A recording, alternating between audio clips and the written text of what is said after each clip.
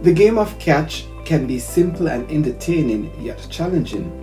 The ease in which someone is able to catch an object is dependent on many things including its shape, size and weight. Have you ever tried catching a basketball with both hands? Quite easy, isn't it? How about with one hand? Maybe more challenging, but it's still possible. How about catching a tennis ball with either both or one hand? Easy, isn't it? Catching objects is usually simple when your hands are empty, but becomes more difficult when they are full.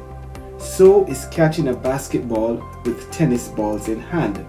The balls represent the things you consider holding onto. The tennis ball, the small and somewhat unimportant things, and the basketball, those that are of greater importance.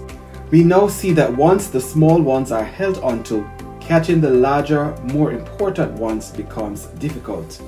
It is often more appealing to hold onto the smaller things in life because they appear easier, more abundant, and attractive. That's often the danger of small things. They can be distractions from what's larger or more important. In life, there's a need to learn how to focus on what is of greater importance rather than those that are not. Developing an understanding and appreciation of what is important is critical as focusing and holding onto those help in achieving our desired goals. Remember, you cannot catch or hold onto something large with small ones in your hand.